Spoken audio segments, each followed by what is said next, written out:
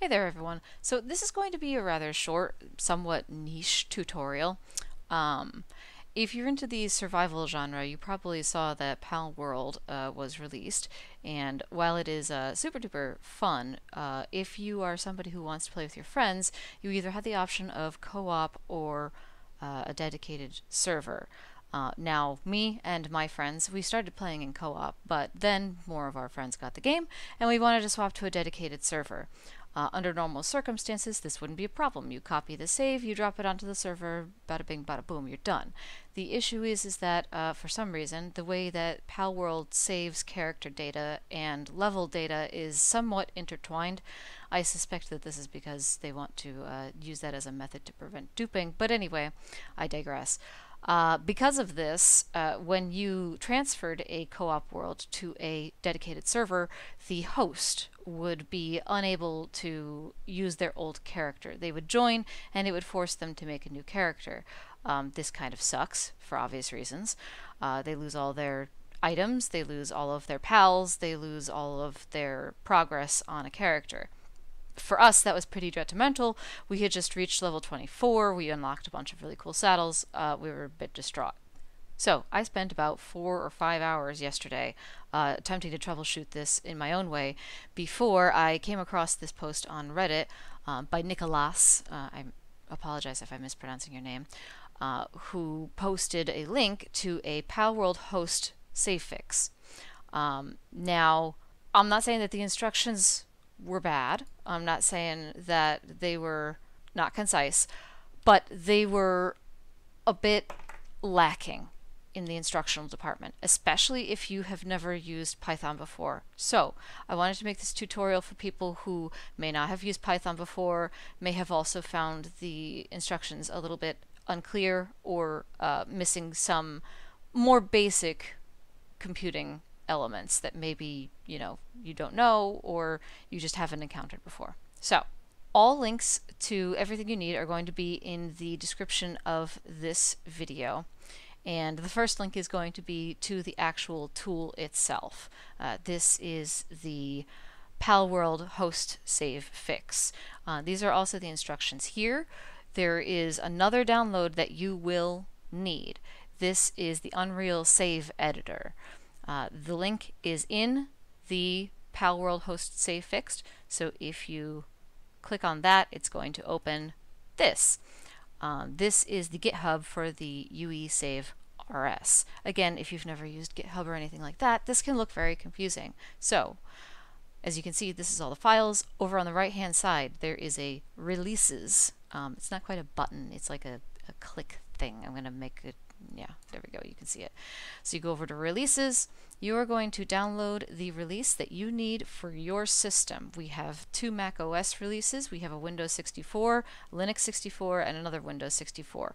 Um, I downloaded the zip personally because I didn't want to do a full install. That's what this .msi is for. Um, I just downloaded the zip and I extracted it to a folder. So I'm going to show you guys that folder now. Here it is. All right.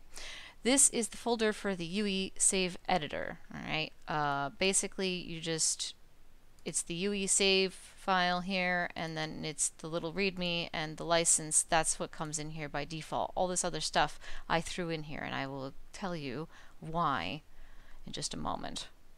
Alright, so going back to the Palworld host save fix instructions, you're also going to notice that right here up at the top in its list of files there is a fixhostsave.py. If you don't know what this is, this is a Python script. So I have the link to download Python in my description once again. Uh, once you have that downloaded and installed, um, you are going to have to run this Python script.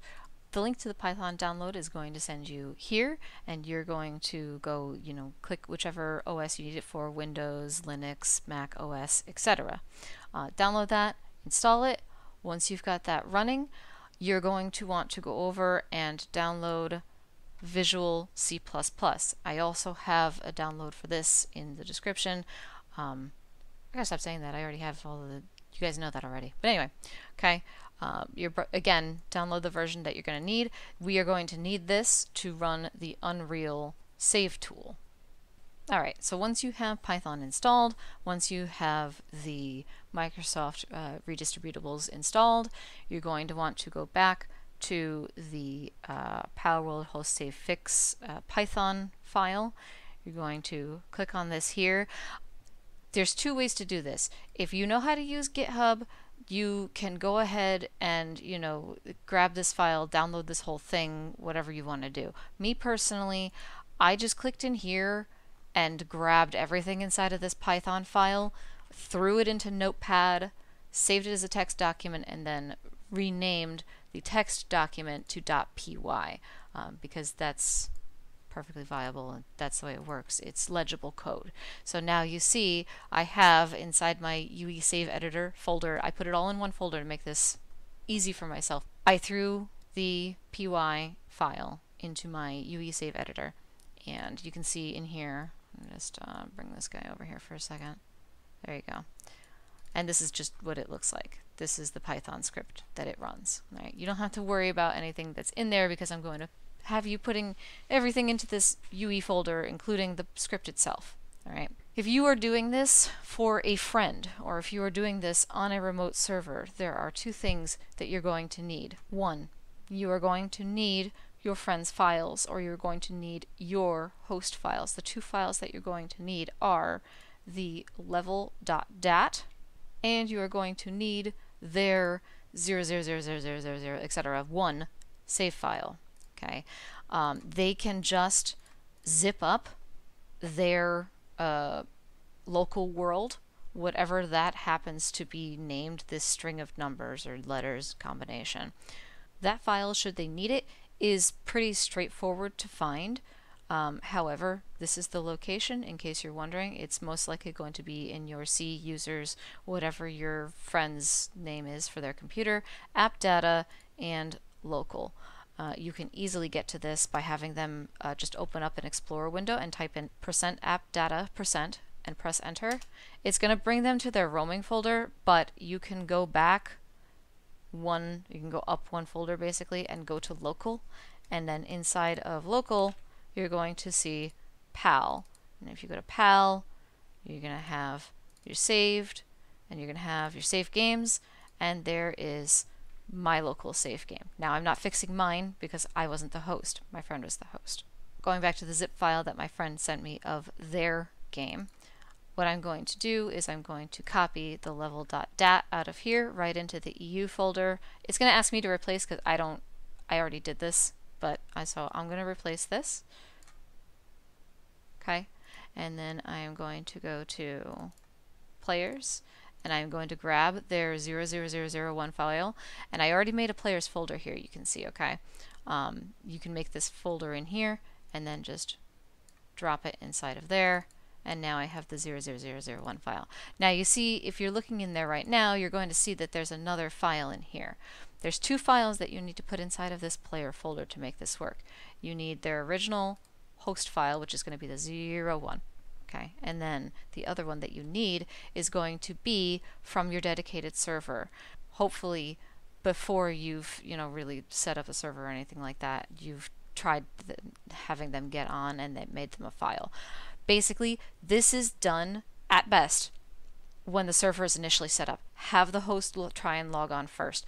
I made the mistake of playing for a couple of hours before uh, my friend attempted to log on to the server. Uh, unfortunately, that ended up in me having to roll back my server um, to their co-op save because no matter what I did, I could not get this to work.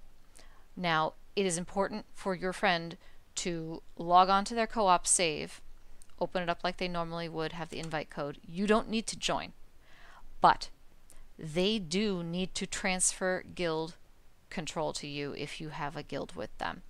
Um, I didn't do that and I swear that was probably three of my four to five hours of troubleshooting this. It needs to happen, um, just straight up.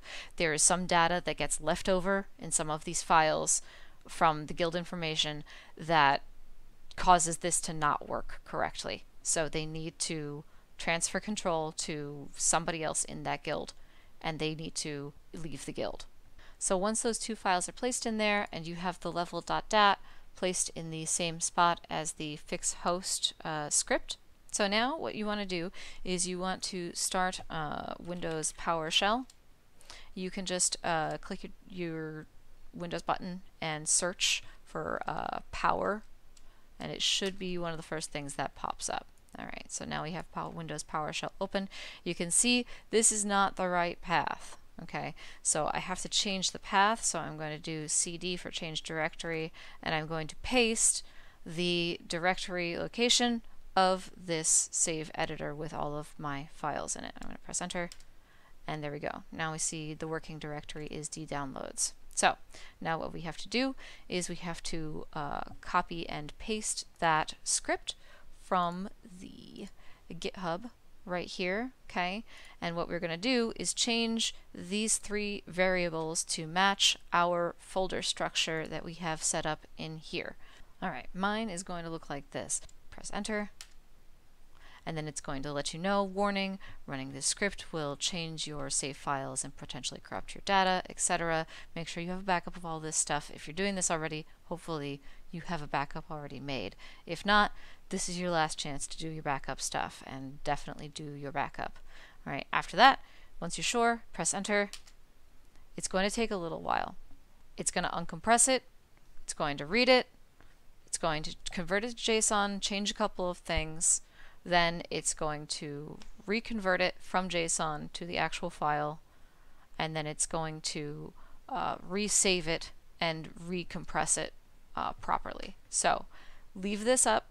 You're going to see a couple things pop up. JSON file has been parsed, changes have been made, etc. You are not done. This is not done until this says, good luck, have fun. All right, so give it a couple of minutes. If you have to let it sit, let it sit. Okay, so this is now all done. You see it says the fix has been applied, have fun. So if I go back into that players folder, you're going to see I only have one file in here, and this is the file that needs to go onto the server into the server's players folder. This and the new uh, level.dat uh, .save are the two files that need to go back onto your server. Boot that up, and then have your host connect, and hopefully they'll be all set. Thanks very much. I'll talk to you guys later. Hope you found this helpful.